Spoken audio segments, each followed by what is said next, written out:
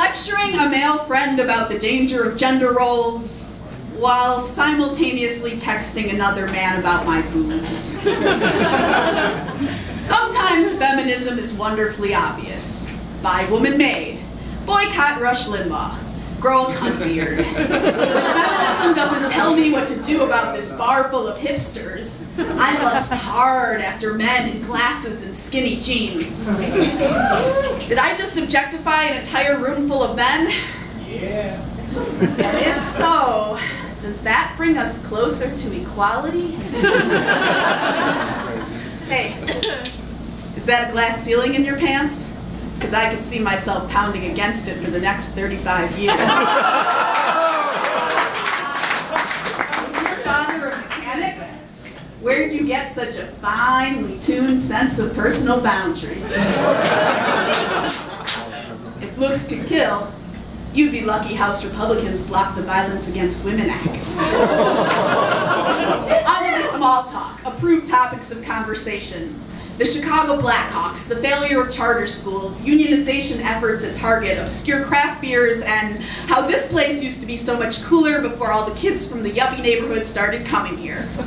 Avoid my body, his body, what I'd like to do to his body, and anything that has ever been written in Cosmo by now we need another trip to the bar. Hey, women, own seven, er, women earn 77 cents for every dollar earned by a man. Can I buy you three quarters of a drink? How about a Long Island ice? Back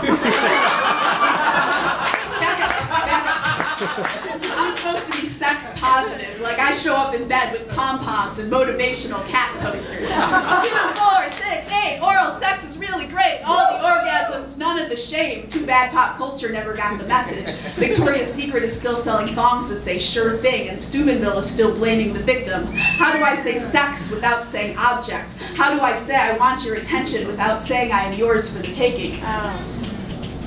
That's a nice shirt. It would look great on my floor after we've both given enthusiastic consent. if I said you had a nice body, would you hold it at exactly the distance you feel comfortable? Are you pro-choice? Let's go do things that lead to abortion. now for the clothes. Do I want to leave with him? Does he want to leave with me? His place or mine? Exactly how much of each of us had to drink to divided by our weights and rates of metabolism is it gender neutral that neither one of us is carrying a condom? Susan B. Anthony, am I letting you down? You just wish you'd been allowed to have this much fun? Hey, I need you, like a fish needs a bicycle.